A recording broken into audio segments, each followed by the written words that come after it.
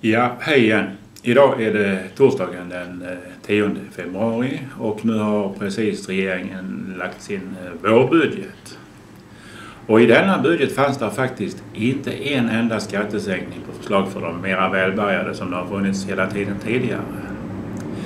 Men i början av eh, mars, 14 dagar efter att regeringen hade annonserat sitt stopp för skattesänkningar, så gick det ut ett direktiv för att man skulle utreda möjligheterna att eh, minska skattebördan för de som fick optioner och andra liknande derivat i, i, i ja, present av sitt företag som man fick det istället för lön.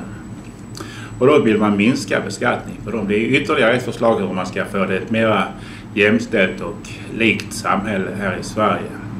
Jag är fullständigt övertygad om att alla undersköterskor och industriarbetare de är mycket, mycket tacksamma för att de nu slipper att skatta så hårt för sina optioner och andra derivat. I, i, det skatt, eh, I den här vårbudgeten ligger där däremot eh, skattehöjningar på olika grejer som alkohol, tobak och eh, även på bilar. Att man beskattar tobak hårdare det har jag ingenting emot.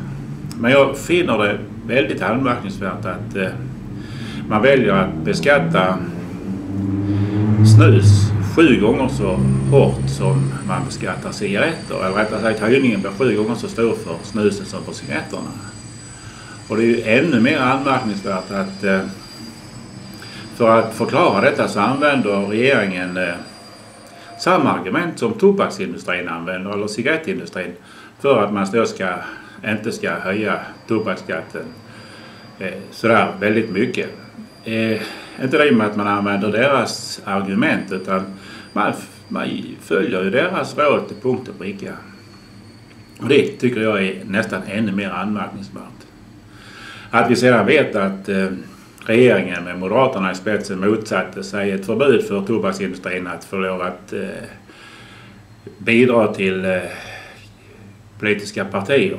Då, det får en att tänka efter. Man kan undra om det har något samband. Ja, jag är inte säker. Men framtiden får väl utvisa. Det var allt för den här gången. Tack!